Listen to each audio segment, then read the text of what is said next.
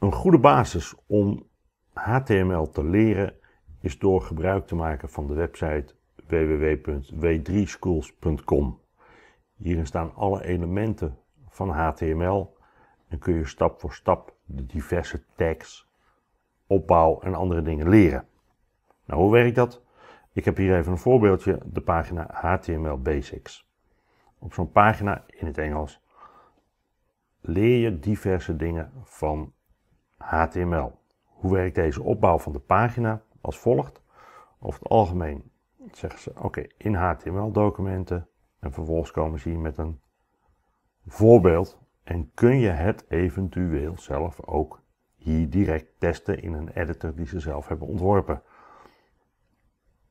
Je kunt het natuurlijk veel leuker op je eigen HTML-pagina testen. Dan zie je direct resultaten, kun je het ook direct uh, organiseren. Wat zien we hier? In dit exempel zie je dat het een HTML-pagina is en vervolgens zie je de start en de eindtag van HTML. Dus het gaat over HTML. Dan zie je hier de body en alles wat in de body staat. Dat ziet de gebruiker van je website.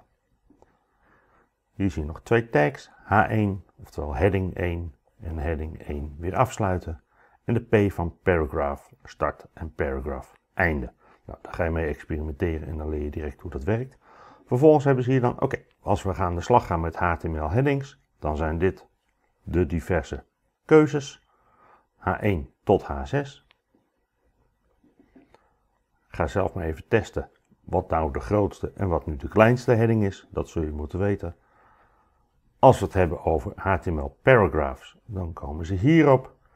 De P en de eind P, P, P. Probeer dat zelf maar weer eens. Kun je ofwel in hun editor doen, ofwel in je eigen editor doen. Dan hebben ze het hier nog over HTML links. Nou, daar komen we later nog wel eventjes op terug. Images komen we ook later op terug. Enzovoort. Dit zijn allemaal basiselementen waar ze steeds op doorgaan.